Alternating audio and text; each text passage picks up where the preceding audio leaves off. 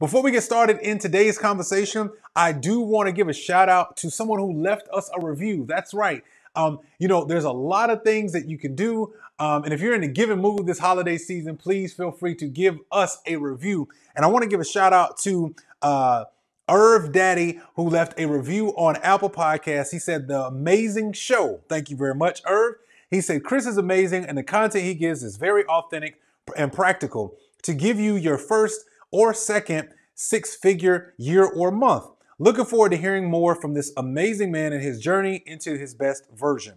It is great to hear someone at his ever growing level, as I know what uh, what to expect as to obtain similar experiences and growth. Thank you and God bless. And don't forget to sub his channel's peace. He literally wrote that. Like I'm not making that up. That's literally like right here on this page. So thank you, uh, Irv, for your kind words. I really appreciate it. And hey, you can be like Irv in this given season. Please give us a review we would happily appreciate you watching the show, listening to the show, however you found this platform. Leave us a review on whatever platform that is. It would definitely make it easier for other people just like you to find the show. All right. So with that being said, um, today what I wanted to be able to do is talk to you about uh, a principle that I share uh, with um, you know uh, potential clients and people that I, that I help, and a lot of folks. And I think sometimes it's just because we don't pay attention to these things. But I wanted to show you the triangle of value. I wanted to show you why it's important. I also wanted to show you like how um, you will continue to get paid no matter what. Like if you wanted to know like why is it that some people get paid more than others?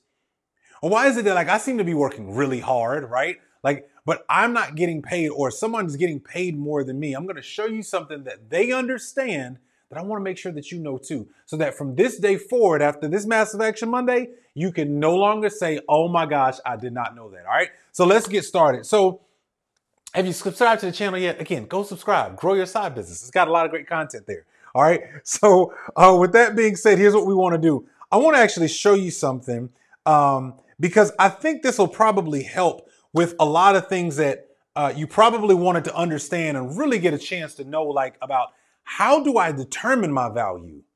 Right? Like I, am going to show you the triangle of value, but you might be wondering like, what do I have to do? What is the thing? How do I make sure I understand what I am worth and what my value is worth uh, in the marketplace? So I'm going to show you that. And so to really understand that, here's what we got to do. We got to understand it really comes in three parts. That's why it's called the triangle of value, right? And these three parts are really, really important. So let's let's go ahead and, and dive into it. Um, and I'm just gonna, you know, we'll, I'll just write this up here. And as I'm doing this, what I'd like for you to do in the comments is I'd like for you to tell me, you know, how do you determine personally what your value is in the marketplace? Like, how have you been doing that? Is it just the things that you put your hands to? Like, and when I'm done, hopefully this will help you craft it a little bit more clear, a little bit more crystallized for you. So what is the triangle of value? The first uh, thing that's at the very top of our triangle comes with uh, our profession. Okay? So our profession is at the very top of our triangle. Now, what is a profession? So if you go look up the definition of profession, it's a paid occupation, especially one that involves prolonged training and formal qualification. All right. An act of declaring that one has a particular feeling of quality, especially when it uh, that is not the case. They call it like, you know, the profession, a declaration. But we're going to go with the first one here as a noun, a paid occupation, especially one that involves prolonged training and formal qualification. Here's what I know. You have been doing your job quite well for a very, very long time. And even if you haven't been, you got the job, right? So clearly there's something that you know. And I, I want to state this too, because a lot of times there's some beliefs that we have about like, you know, our roles and, and what we've been doing. And I hear people say, and I used to say it too all the time. I used to hear people say, now I've been doing my job for 20, 30 years. Like as an executive coach in the, uh, in, in financial services for one of the largest financial firms around the country, uh, in the world. I, I would say, yeah, I've been doing my job for, you know, 15, 16 years, right? Well, it's not that you've been doing the job 15 or 16 years.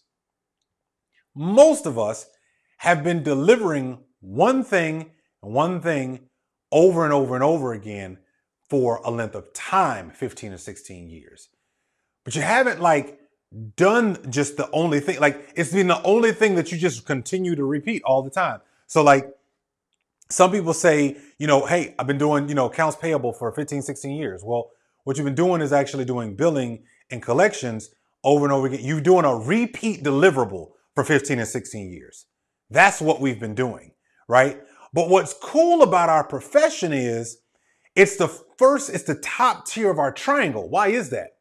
Because when you think of value, I need you to understand that what your job and what the marketplace sees as your value might be two different things. And I want you to know how to craft this conversation in this language so when you're talking to people, you can determine what your value is, not somebody else. So when it comes to your profession, it's the thing that you get paid to do. Somebody tell me down in the comments, like, what is the thing that you get paid to do? Right? What is it? But I want you to think of it in terms of not the title. Forget the title for a second. Business systems consultant, uh, uh, uh, you know, information technology. What? No. What is it you get paid to do? That's the thing you've been doing over and over and over and over and over again for however long you've been doing it. Right? Not the title. The titles don't mean anything. CEO. No, what do I get paid to do as the CEO? Right? Oh, I'm I, I, I run the marketing department. No, what is it that you get paid to do in the marketing department? You are not a department. You are not a, a object, right? You're not an object. I work in legal. No, what do you get paid to do in legal? Right? I'm an attorney. No, what do you get paid to do as an attorney. Why is this important? Why am I drilling this? Because many of us don't even know how to talk about what we do. We know how to spit the title, but we don't even know how to say what it is that I do. Right? So I can tell you, you know, some people say, oh, he's a podcaster. No, I'm not a podcaster. I'm not a podcast, right? I'm a business coach that helps ambitious employees be able to grow a profitable side business. That's what I do, right? In my profession of podcasting. Okay, does that make sense? So I want you to make sure you understand your profession. The second portion of this is we have, we'll come down here, are within our profession, that means we have a set of practices. Okay, now when we think about practices, what is practices? Well, when we define practices, Practices is the actual application and the use of an idea, belief, or method as opposed to theories relating to it. I'm to read that again. The actual application or the use of an idea, belief, or method as opposed to, re- to, the, to theories relating to it. See, there's a lot of people who can tell you about a thing, but they've never done it. Why? Because maybe they just study it a lot, right? It's different when you're listening to sports commentary from somebody who's just been studying the game all of their lives. And it's not that it's not valuable. It's not that it's not important. If they've been studying something for a long time, well, that's great.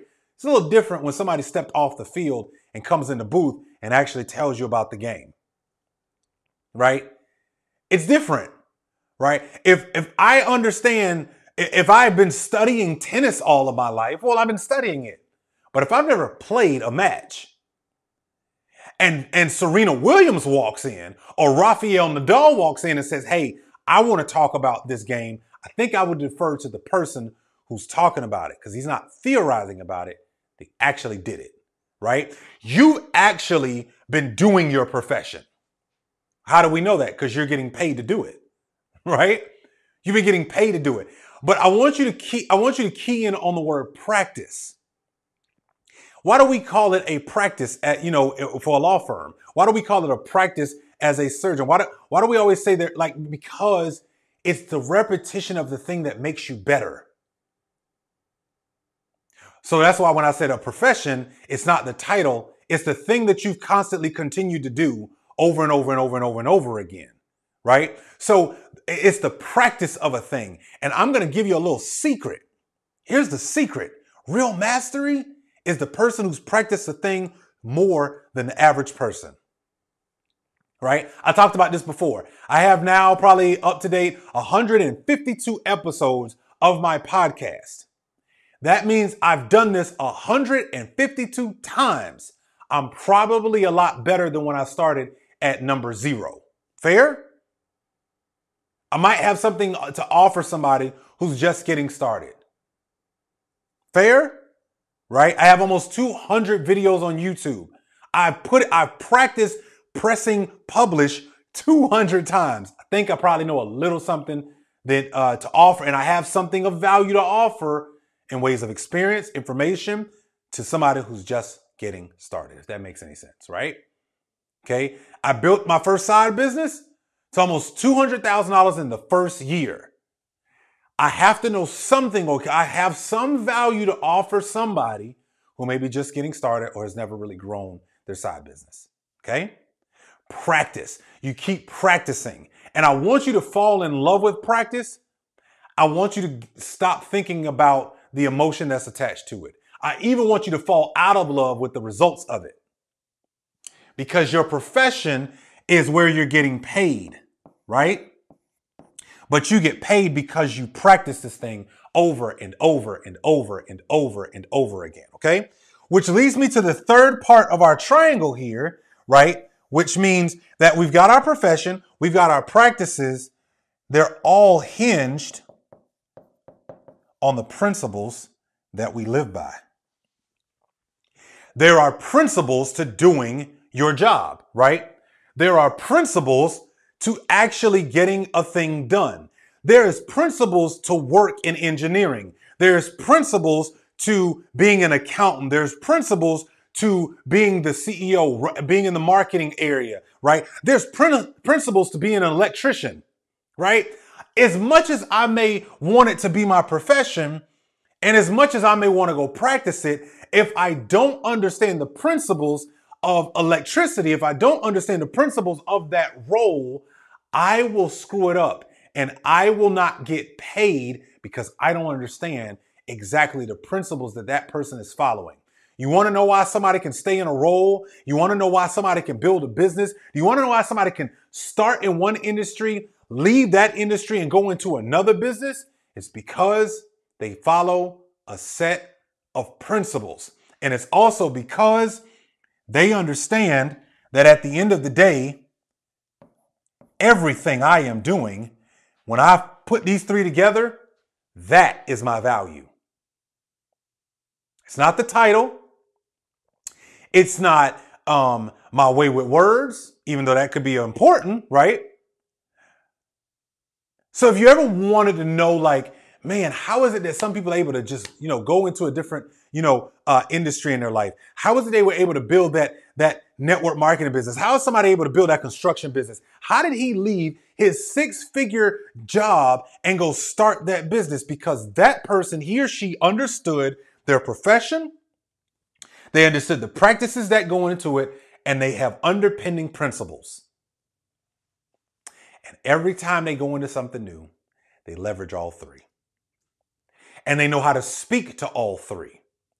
Tell me down in the comments do you understand how to speak to the value that you bring to your company or to your side business? Do you know how to articulate the value that you actually bring to a person?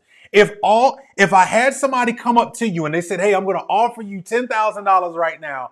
Tell me what it is that you actually do." Would you give me the title? Or would you know how to describe what you do in a way that I can understand in like one or two sentences? Could you help me understand how those practices make up that profession and that's the reason why you get paid? And then could you be able to actually show me a few principles that somebody in your profession walk by and that they work in in order to be able to do their job well? What I am showing you right now is one of the most valuable things that I have learned. I learned this by trial and error, really, because I remember there was a time where I was, um, I was I remember when I like I remember after a corporate layoff and I had like a two year run. I was putting in application after application after application, and I wasn't getting hired, wasn't getting hired, wasn't getting hired. I know I ran through over 100 applications. I know when I first started my side business, uh, my first one, I didn't know how to explain it. I didn't know what to do. I didn't know what to say until I realized, Chris, you're spitting titles. You're talking, you're talking in language that only the people in that world understand. Nobody understands a podcast, but people do understand that they are corporate ambitious employees who are frustrated with their current day job and want to be able to build something with the knowledge that they have, but they don't know how to do it. And they need somebody to help guide them how to build them a profitable side business. That is language that people can understand. So, what is your homework for Massive Action Monday? Your homework, if you so choose, is to understand how to talk about your profession without the title. Okay? Help people understand exactly what it is that you do. Few sentences, one or two sentences. Number two, based on that, because that's the way you get paid, what are some of the practices that go into how do you practice that all the time? What is the thing that you actually deliver? Right? What is the outcome that is a result of you doing your work? What is the outcome for the end user? And then what is the principles that underpin the work that you actually do? Right? What are those? And, and, and when you understand that this is your value, I'm telling you right now, your world will open up because you will realize I can go into any industry, any arena, any company. If you've been afraid to take that next leap in your in your corporate role because you just feel like I need to do more, no, you don't need another certification. You don't need another degree. You don't you don't need all of that. I just saw this article in the Harvard Business Review. I talked about it last yesterday. I went live and they interviewed the CEO of LinkedIn. The CEO of LinkedIn even said skills, not degrees, is what matters most in, in, in, in any interview. Because if you have the skill, you've been doing it in a profession, you know how to clearly articulate that, you've been practicing it for a while, and you know the principles that underpin it. Ladies and gentlemen, that is your triangle of value that you offer to your company and that you can offer in the marketplace. Okay? So, if you want to know more about this and if you want to be able to like take this even a step further, I created something called the Side Hustle Secrets course. You can go to the website, the link is below. You can also go to growyoursidebusiness.com. And if you go there, you will be able to go to my Side Hustle Secrets course. I'm going to show you how you take this. And if you've never understood how to take the information that's in your head about the profession you've been doing for 10, 12, 20 years or so, and if you never understood how to put that in the marketplace so that you can build you a profitable side business, I got an entire course called the Side Hustle Secrets course. This right here is just the tip of the iceberg of what's possible for you to be able to do. Okay?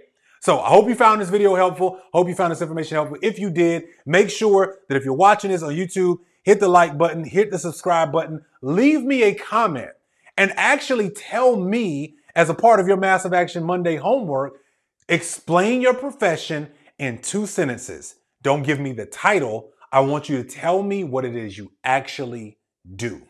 One or two sentences. Try to make it as clear as possible. Okay? All right, if you're watching this or you're listening to this uh, on Spotify, Apple uh, Podcasts, Google Play, TuneIn, wherever you're listening, I want you to make sure that you share this with somebody else so they can also understand the triangle of value. Thank you so much for watching. Thank you for being here. And until next time, y'all, I'll see you soon. Have a great and happy Thanksgiving, and I look forward to talking to you in the next episode. Peace, everybody.